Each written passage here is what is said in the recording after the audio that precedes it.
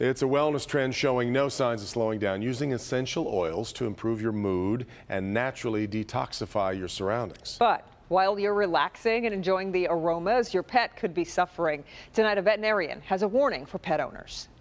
Between work as a personal trainer and the demands of everyday life, Raquel Sasson is all about de-stressing. Oh my gosh, everybody needs to relax. After a work day, traffic is bad, um, just everyday stress. Her husband thought essential oils would help ease her tension, so he bought a diffuser similar to this one. This particular oil was uh, lavender tea tree. They set it up in their bedroom and went to sleep with their dog Mia nearby. We went to bed about 11:30 and when we woke up the next morning, Mia was in like a full seizure.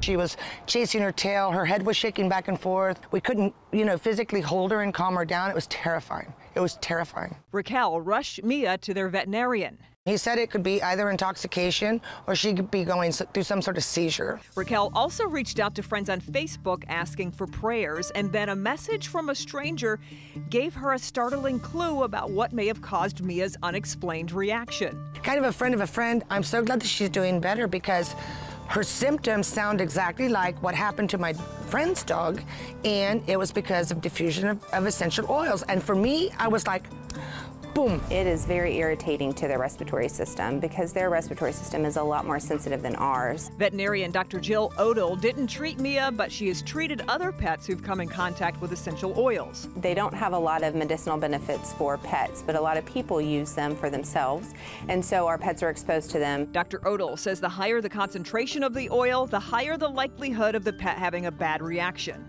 You would see um, sneezing, um, you could see coughing, you could even see red, runny um, and then even for cats especially, a lot of times um, they'll have open mouth breathing and they may even be hypersalivating. Dr. Odell also warns using essential oils, especially tea tree oil on your pet's skin to treat itching or parasites, may be potentially deadly it gets absorbed through their skin and it actually gets absorbed into the central nervous system. And that's when you can see um, signs like ataxia or stumbling. They can have weakness in their hind limbs. They can have depression or lethargy. She gives this advice to pet owners who use essential oils in their home. First, check the concentration level. 100% may be too strong.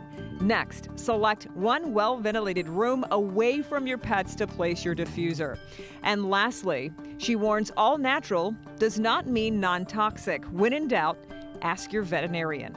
Raquel got rid of her diffuser, and Mia is back to normal as if nothing happened. You just don't think that they're that different from us, but they really, really are.